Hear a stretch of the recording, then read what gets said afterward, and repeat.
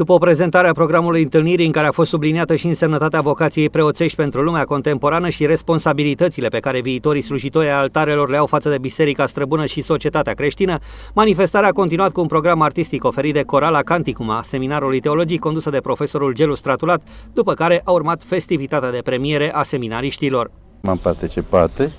la sărbătoarea sfârșitului de an de la seminarul teologic Sfântul Nicolae din Râmnicu Vâlcea. Într-adevăr, putem spune că anul școlar 2012-2013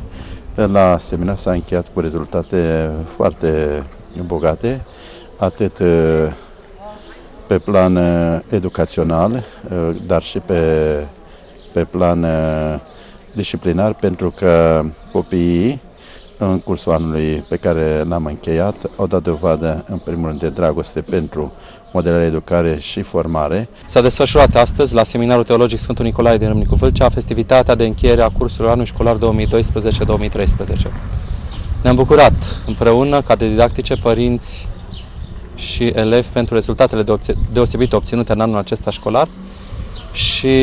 rugăm pe mult Dumnezeu să dăruiască tuturor celor implicați în această activitate părinților, elevilor, cadrelor didactice și tuturor senitorilor seminarului teologic, ajutor, sănătate și multe bucurii și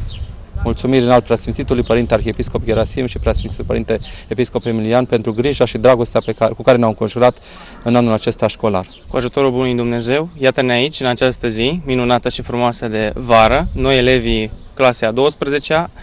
premiați fiind de către înalt preasfințitul Părintele nostru Gerasim, Arhiepiscopul Râmnicului, în colaborare cu uh,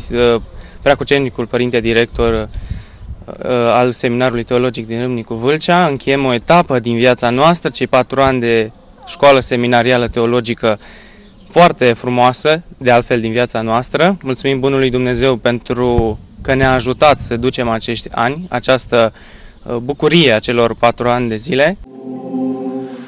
Și